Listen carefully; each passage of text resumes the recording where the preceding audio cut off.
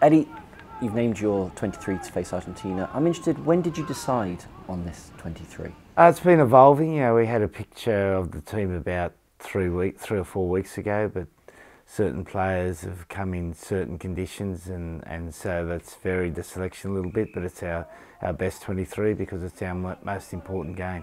It's our next test against Argentina, and they're a, they're a strong team. You know, they're World Cup semi-finalists in 2015, and we want to make sure we put our best 23 out there.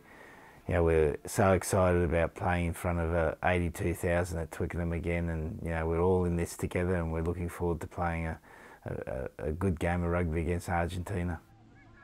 No Itoje, no Farrell. Why have you rested them?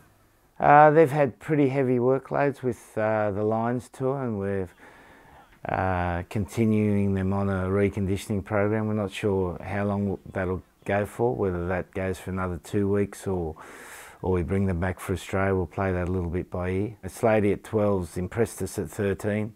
Opportunity at 12 where you know, he's got the distribution skills, he's got the defensive capabilities, and he's got the, the speed and pace to travel sides. So we're excited about that. Uh, JJ's back into the team at 13's done really well for Bath.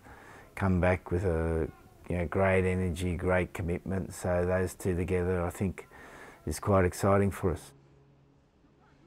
Joe Launchbury's uh, going to finish the game for us. Courtney and, and George will start. Charlie Ewels and Nick Isiekwe um, having made the 23 have had excellent uh, preparations with us and will compete for spots later on in the tournament.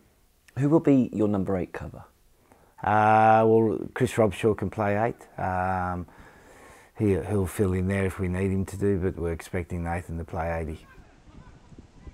Argentina's a, a, a funny team in that they've still got the traditions of, of a strong set piece, but then they've got this ability to attack from anywhere. Uh, we saw last year they can score from their own line, and they're you know very good at unstructured attack. Um, so we need to make sure we control the ball well, make sure when we've got the ball we attack their weak areas and are very disciplined with the ball.